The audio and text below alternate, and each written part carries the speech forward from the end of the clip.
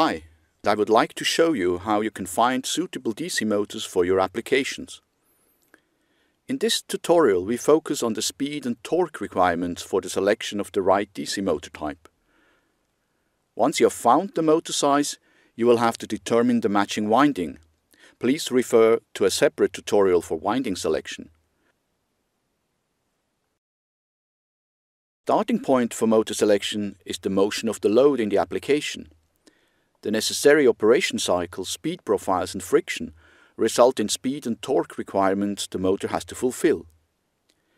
In case of mechanical transformation, think of gears and screws, the values at the load have to be converted to the motor output shaft.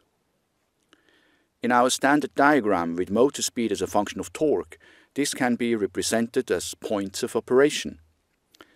For example, there can be a constant operation at a given torque and speed.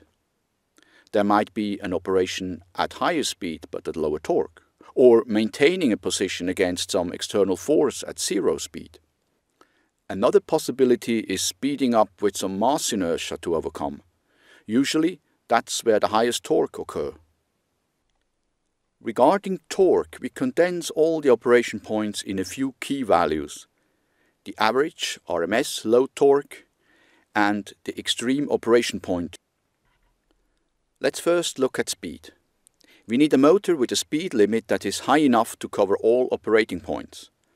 The speed limit of Maxon motors corresponds to the upper limit of the operating range diagram. However, it is essentially the required torque that defines the motor size.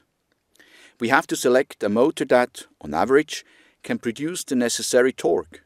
Hence we need a motor with a nominal torque larger than the RMS average load torque.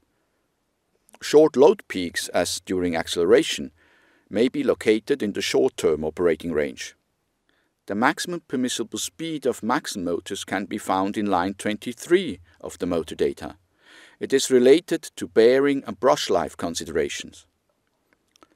The torque capability of the motor type is given as the nominal torque in line 5 of the torque data. It is a characteristic parameter for a motor type and size. It limits the continuous operating range.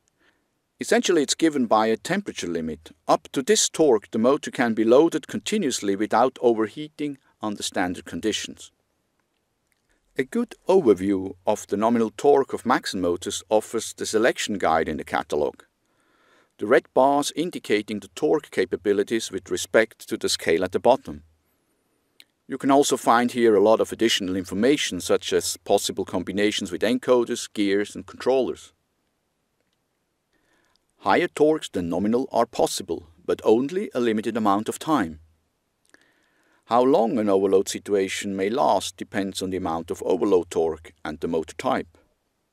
As a rule, the larger the motor, the longer the overload can be. Typically, overload can last uh, several seconds, as indicated by the thermal time constant of the winding. Roughly speaking, a motor can support two to three times the nominal torque for periods up to this thermal time constant. In addition to these considerations about torque and speed, there are other questions related to the selection of motor size that need to be addressed. The first one being the mechanical interface. What is the maximum diameter and length that is possible? How is the motor going to be fixed? Are there any restrictions concerning the size of mounting flange? And how about the shaft diameter and length?